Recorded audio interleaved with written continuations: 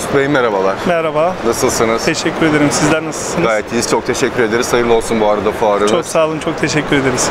Şimdi Mesut Bey, Anatolia sondaj olarak söyleşimize geçeceğiz. Verilen hizmet tabii ki en önemlisi hizmet kalitesi. Bunların hepsinden bahsedeceğiz. Kesinlikle. Fakat öncesinde bizleri izleyen değerli izleyicilerimize çok kısa sizi tanıtarak başlamak istiyorum. Mesut Öz kimdir? Ne kadar zamandır sektördesiniz? Kısaca kendinizden söz eder misiniz?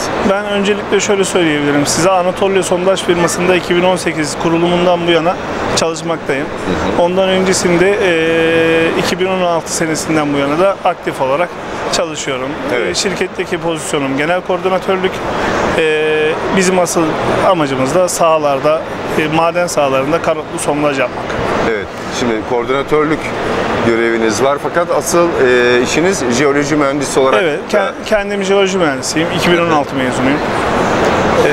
2018'den itibaren de Anatolia. 2016'dan bu yana çalışmaktayım. 2018'den bu yana da Anatolia Sondaj Anatolia bünyesinde devam etmekteyiz. de devam ediyorsunuz. Evet. Peki firma 2018 yılında faaliyete 2018 geçti. faaliyetli firma. Evet. Nasıl bir hizmet veriyor? Hangi alanlarda faaliyet gösteriyor firmanız? Anatolia Sondaj e, yurt içinde şu anda e, maden sahalarında karotlu sondaj yapmakta. E, belli çaplarda işte e, kendi üretimimizle kendi makinalarımızla sahalarda aktif olarak çalışmayı planlamaktayız. Evet. Şimdi arkamızda gördüğümüz makinemiz bu sondaj makinesi. Evet.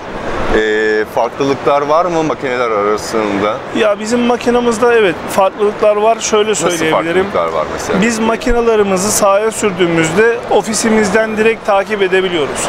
Çalıştığı dakikasına kadar, eee, çamur pompasından bastığı çamurun debisine kadar yani A'dan Z'ye her şeyi takip edebiliyoruz. Evet. Vermiş olduğunuz bilgilerden dolayı teşekkür ediyoruz. Çok teşekkür ederim. Hizmetlerinizin ve başarılarınızda devamını diliyoruz. Çok sağ olun, teşekkürler. Sizler de sağ olun.